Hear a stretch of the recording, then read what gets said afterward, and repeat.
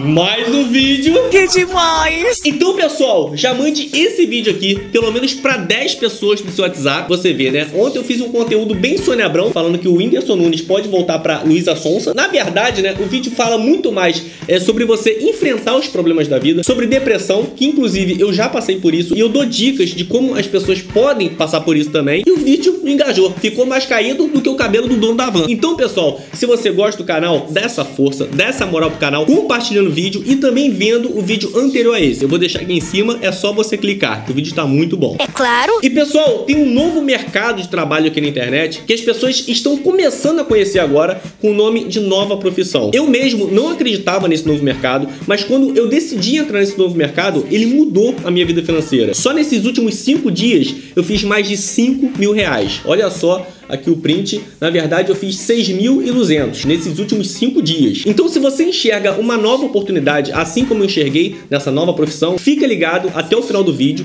que eu vou te mostrar como que você vai fazer para poder entrar hoje nessa nova profissão e transformar o seu celular em uma máquina de fazer dinheiro. Isso você aparecendo na frente dos vídeos ou não. Isso vai ser uma escolha sua. Então, fica até o final do vídeo para você aprender. Certamente que sim. Bom, pessoal, começando mais um vídeo maravilhoso e hoje a gente vai ver duas coisas interessantíssimas. A primeira é que a vacinação aqui no Brasil, ela tá tão adiantada, mas tão adiantada que parece que já estão começando a vacinar animais. Olha só esse vídeo, olha só isso.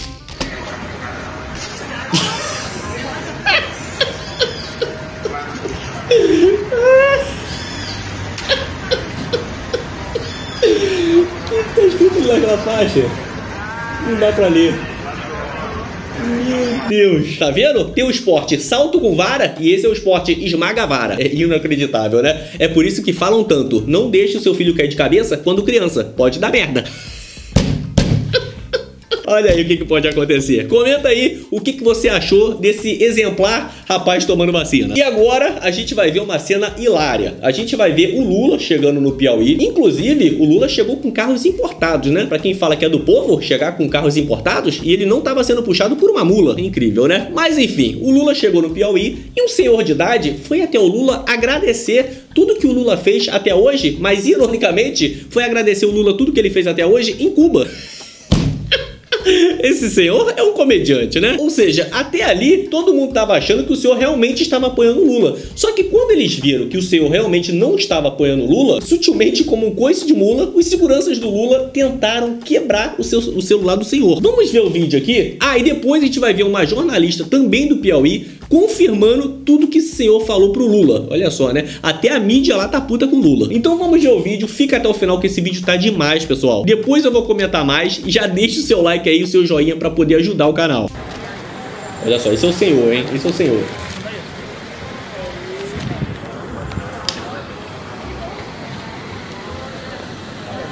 Qual é o carro que ele tá?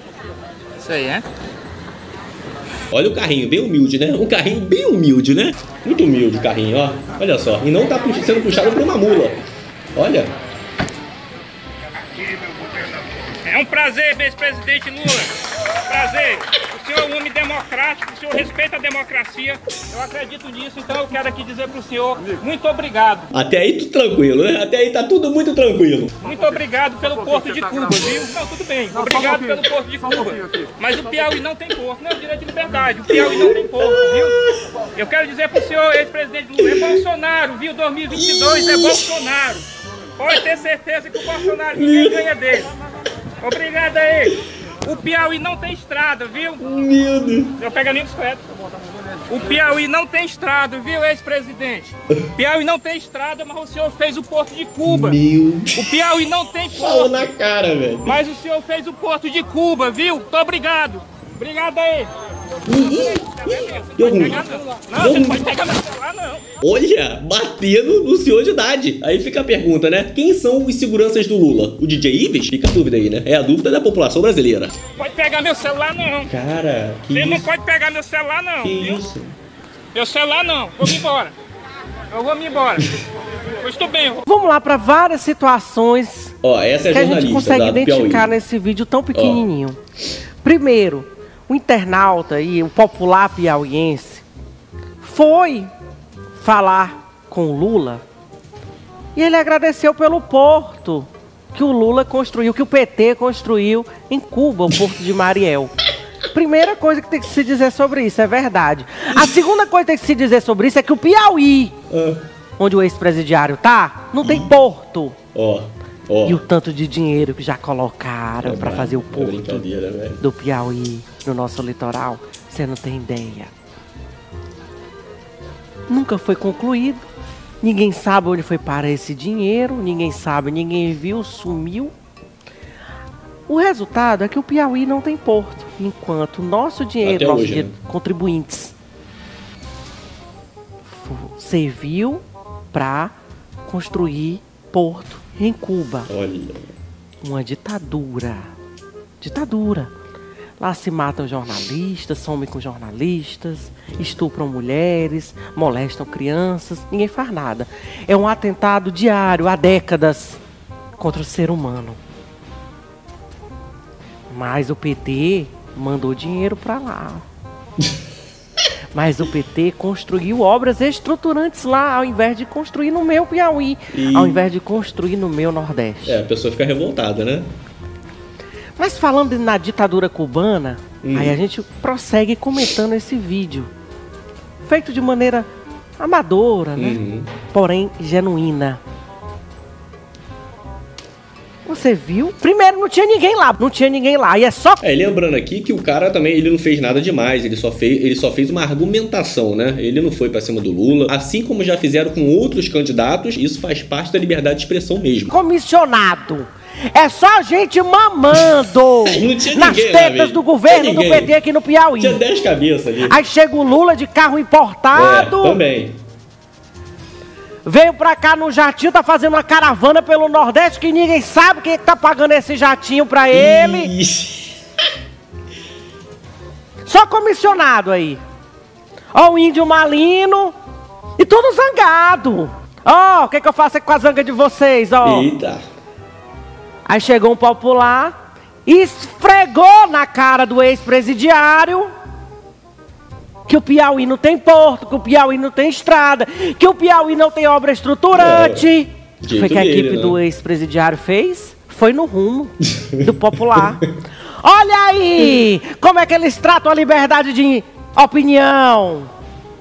Olha aí como eles tratam a, a democracia. Desse jeito, é com agressão. Foram pra pegar o celular do num pobre É, coitado um senhor humilde, né? que tá exercendo o seu papel de cidadão. Caba homem.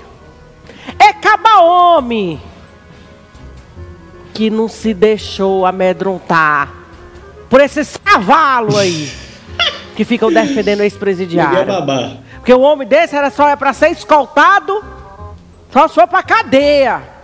Não é pra andar aí com essas regalias, não. Mas Eu fiquei irritada vendo a polícia do Piauí com tanta coisa pra fazer. Tem que fazer escolta pra ex-presidiário, pra condenado da justiça. E aí você vê, o PT, olha só a incoerência. O PT que diz que defende os mais pobres, chamaram o cara de pobre. Isso que eu chamo de incoerência, né? E esse senhor, inclusive, ele foi no programa da Samanta pra poder receber, ele ganhou uma bicicleta nova. E é claro, né? Além de ganhar a bicicleta nova, ele deixou um recadinho. Um recadinho pro pessoal do PT que humilhou ele. Olha só. E, e essa mulher que aparece, ela diz nas imagens, né? Mas você é pobre, né? Então. Olha, que viagem, é, velho. Que Como se viagem. fosse uma forma preconceituosa, pejorativa, É. né? De falar que eu era pobre. Não me senti humilhado por isso. Mas não baixei minha cabeça porque é, ser pobre não é problema, não é É defeito. óbvio, óbvio que É, não. o defeito é defender uma quadrilha, uma organização criminosa, isso eu não defendo. Mas eu fiz questão de mostrar que eu sou pobre, mas eu sou bolsonarista, para acabar com esse estigma de que o presidente Bolsonaro representa os ricos. Não, ele representa os pobres, ele representa os ricos, os empresários. é, ele não há distinção de classe, de cor, de gênero, nada, absolutamente nada.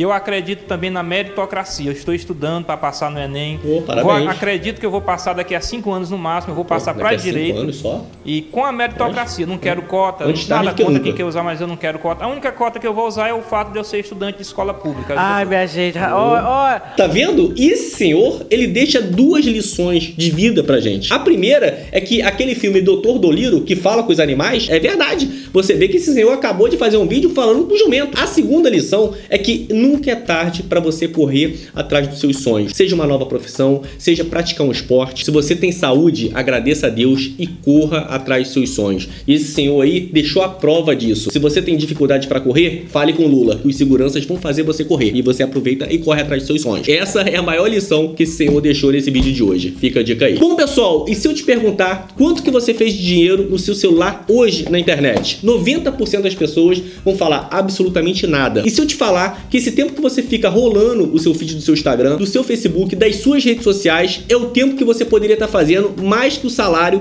que você faz no seu trabalho. Eu era um que não acreditava em trabalho de internet. Eu achava que para poder ganhar dinheiro tinha que ter faculdade e um trabalho formal. Só que esse trabalho que eu não acreditava, esse é o trabalho que está pagando as minhas contas hoje. E com esse trabalho, como vocês viram no começo do vídeo, é um trabalho que está me rendendo mais de 5 mil reais por semana. Isso eu conciliando meu trabalho aqui no YouTube. Então, assim como eu gostaria que há seis anos atrás alguém tivesse me dado essa dica, eu tô dando essa dica para vocês. É um trabalho que mudou a minha vida financeira. Então, assim, se você está disposto a aprender a ganhar dinheiro, clica aqui, ó, no primeiro link da descrição, assiste o vídeo inteiro que vai aparecer para você, que só o vídeo já vai mudar a sua cabeça. Clica no primeiro link aí, aproveita essa oportunidade de ouro, pessoal. Depois não vai dizer que eu não avisei. Bom, pessoal, comenta aí o que, que você achou desse senhor ter feito essa pergunta para o Lula. Essa pergunta que muitas pessoas gostariam de ter feito. Comenta aí que eu quero saber a sua opinião. Assista também o vídeo anterior a esse. Pessoal, também compartilha que esse vídeo aqui acabou não engajando e esse vídeo tá muito bom. Então dá essa força aí pro canal, é só você clicar aqui na tela. Espero que tenha gostado do conteúdo e a gente se vê aonde, pessoal? A gente se vê no próximo vídeo, seu animal.